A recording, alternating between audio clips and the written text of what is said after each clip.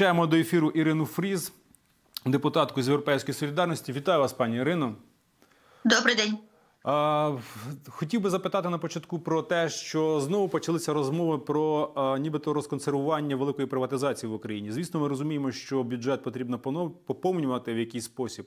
Але чи сьогодні а, стратегічні або військові, перепрошую, стратегічні або великі підприємства економіки, які в нас залишилися ще в управлінні державою, годяться для продажу в тій ситуації, коли економіка фактично ну, напівмертва, а зовнішні інвестори можуть ще дуже сильно подумати, чи заходити з інвестиціями в таких умовах.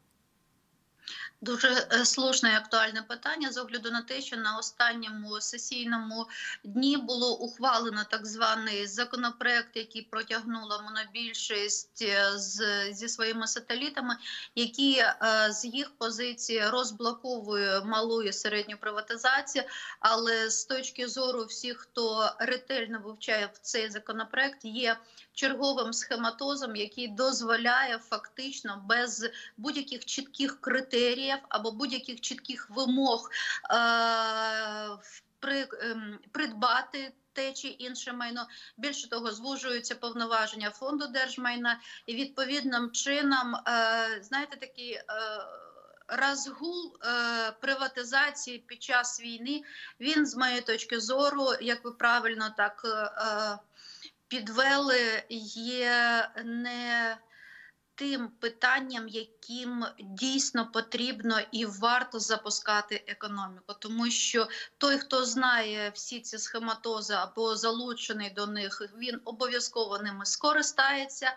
А що отримує від цього в загальному підсумку? Державний бюджет або робітники тих підприємств, які будуть продані, це великий question mark, тому що я ще раз хочу наголосити, що ані критерії, ані вимоги до так званих е, нових е, е, хазяїв цих підприємств або виробничих потужностей, вони є досить розмитими і Такими, що не вартують того, щоб під час війни такі речі протягувались. Ми голосували проти, але менше з тим наголошу, що саме завдяки монобільшості та сателітам, в тому числі осколкам ОПЗЖ, які сьогодні дають браво голоси за всі законодавчі ініціативи від влади, дали можливість цьому закону бути ухваленому Верховною Радою.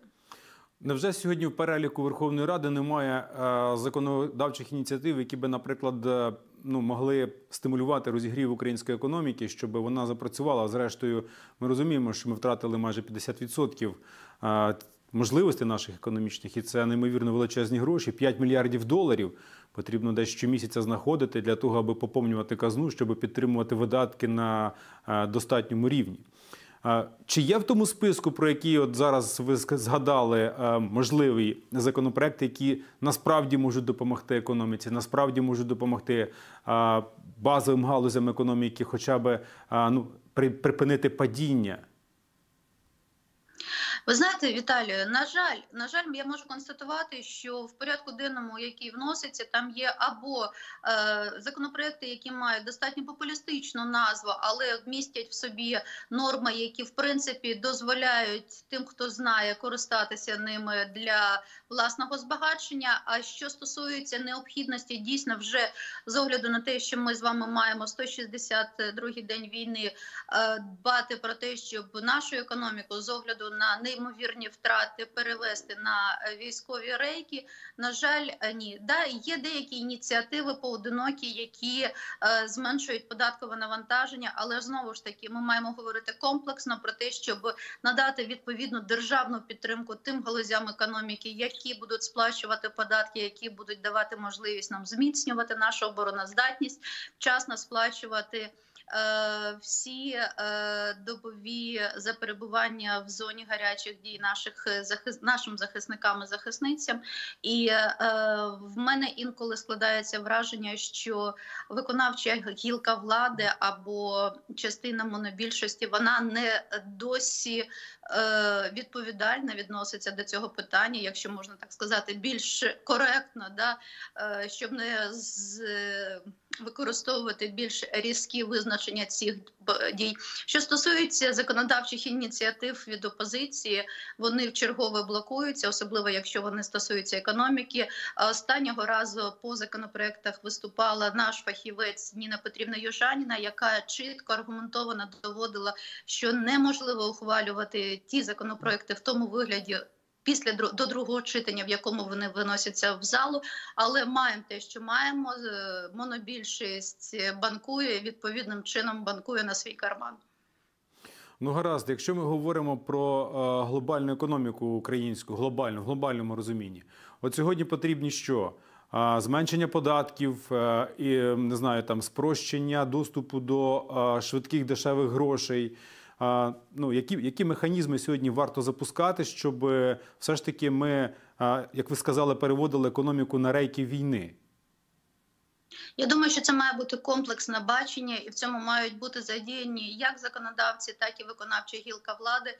Адже ми маємо ретельно розуміти все, що в нас відбувається сьогодні з втратами, і цей перелік більш чітко знає виконавча гілка влади. Ви знаєте, що через е, збої в роботі Верховної Ради ми не маємо можливість отримати відповідний звіт уряду, да, який ми отримували в п'ятницю за звичайних умов. Відповідні всі запити, які надсилаються, вони мають достатньо загальні відповіді і е, не дають чіткого розуміння, що ми маємо кінцевому рахунку з нашою економікою, з нашим бюджетом, і які саме пропонує е, е, дії виконавча гілка влади для того, щоб втримати ситуацію в державі. Ви знаєте, що навіть так звана програма інвестиційна, яка була представлена в Швейцарії, вона була закрита до останнього, і ми так і не змогли її побачити і зрозуміти, що саме. Інвесторам пропонують е, представники сьогодні влади, але ж е, ми будемо рухатися з Почекайте, огляду Іро, на те, вибачте, що будь ласка. Я- е, Іро, Іро, перепрошую, Іро, перепрошую. А на цьому форумі, про який ви згадали в Швейцарії, була презентована на загал для інвесторів і для країн-партнерів програма інвестиційна по Україні. А ви не знаєте, що в цій програмі закладено? Ми не знали до моменту її презентації. Після її презентації ми безумовно вже розуміли, що саме презентується. Ті обсяги, які були заявлені, вони то зменшувались, то збільшувались. Що ще більше вносило, знаєте, таке занепокоєння до головних інвесторів, які намагаються в цей страшний час. Підтримати Україну, але е, з огляду на те, що ця програма, яка потім зводилася, навіть не була доведена до експертів, фахових експертів, яких залучали до її розробки. Це є, на жаль, факт, і це дуже прикрий факт, тому що ані експертам, ані громадськості, ані парламенту ця програма перед тим як її презентували, не була доведена для розуміння того, що саме. Хоче наша влада від міжнародної спільноти, зокрема від інвесторів, найбільших інвесторів, які зібралися тоді в Лугана на цю конференцію. До Ну, речі, їх там було декілька паралельно. Ну, ми переважно зараз говоримо фактично про е, в розрізі відбудови України і залучення інвестицій саме після того, коли Україна отримає перемогу. Але сьогодні, в умовах війни, ми не можемо покладатися на інвестиції, тому що вони, якщо і є, то це вкрай дрібні інвестиції, ну точно не мільярдні.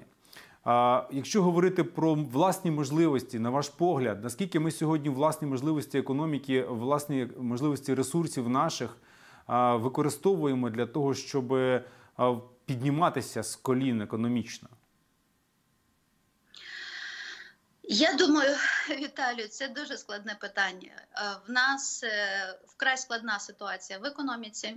В нас вкрай складна ситуація з бюджетом. Ми маємо готуватися до напевно надскладної зими з початку отримання нашої державної незалежності.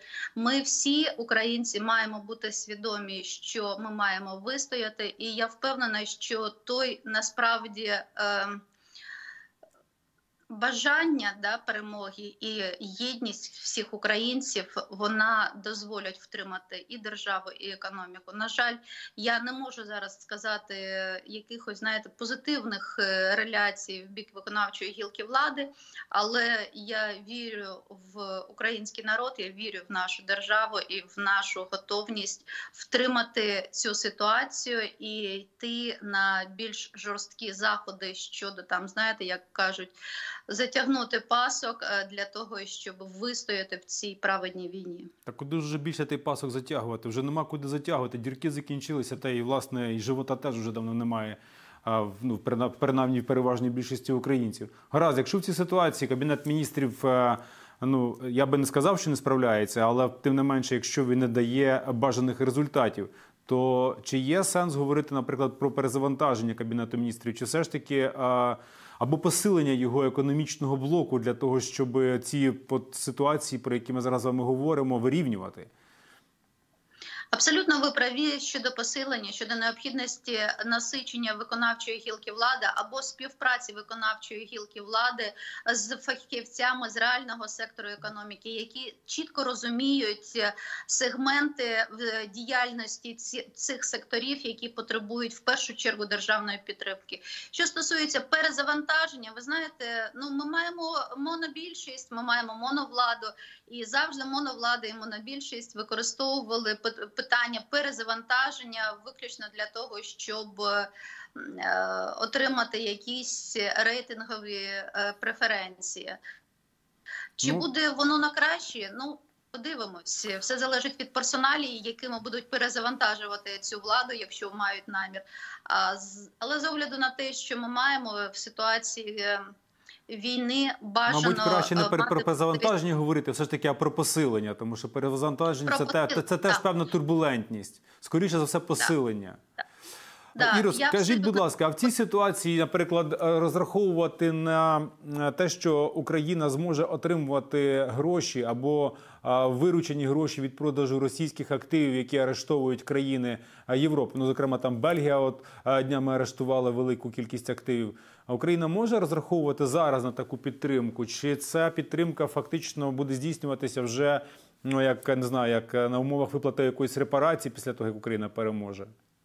Якщо ми будемо говорити про міжнародне право, то це репарації, тобто їх е, арешт цих активів це Заморозка. можливість заморозка, їх можливість використовувати піч. Після рішення міжнародних судів і трибуналів, я думаю, що зараз це виключно заморозка, але ми можемо розраховувати на підтримку Світового банку. Ми можемо розраховувати на підтримку пряму е, нашому бюджету від е, МВФ, від інших інституцій, які розуміючи стан, розуміючи обставини е, нашої економіки. Е, Будуть допомагати Україні втриматись е, в ситуації, яка необхідна для того, щоб продовжувати давати відсіч агресору. Ну, бачите, ми вкотре сподіваємося знову ж таки на міжнародну підтримку і не в чергове не сподіваємося на те, що самі економічно можемо, якщо не впоратися, то принаймні посилити себе, хоч в якийсь спосіб. Е, Дякую, пані Ірино. Ірина Фриз, народна депутатка, Європейська Солідарність.